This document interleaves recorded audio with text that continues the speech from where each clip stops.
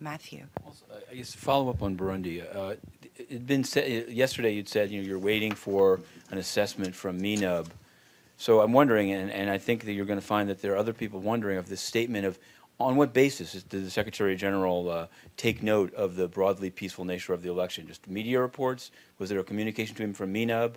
Has he heard from the Office of the, of the Human Rights? And, and what about, what level of death would, would, would cause an election to not be seen as peaceful by the Secretary General?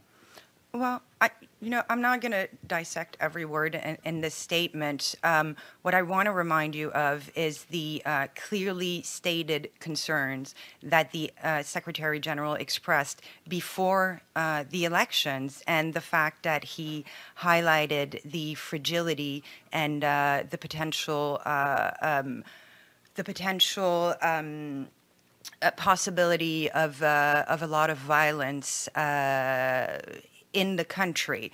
So, uh, right now, in the statement, he took note, again, of a broadly peaceful conduct of the election. This is not about the result of the election. And uh, more importantly, he's also stressing uh, the importance uh, for all Burundians to, um, to engage in an inclusive dialogue, political dialogue, also stressing the responsibility of the Burundian authorities to uh, protect civilian population and for everyone to remain calm, not engage in further acts of violence, and also for the necessity to be accountable for any violation of human rights. But I guess my, just, I just to be, because there are many people, even in response to the statement that he made, have come out today and said that there were people that were either, you know, afraid to be seen not to vote, afraid, or, or, or, or vice versa. There was the, the, this marking of fingers that's on the UN News Center story on this is not is quite as positive as, as it's portrayed there.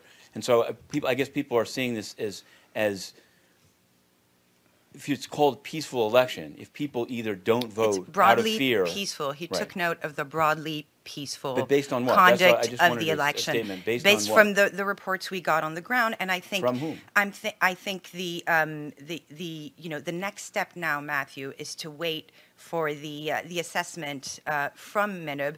And my recollection last time is that it, it was pretty quick. So Right, let's just wait. wait for that. But let's he just didn't wait wait. I guess my point is he didn't wait. So I'm just asking if you can say what, like, what was this statement based on?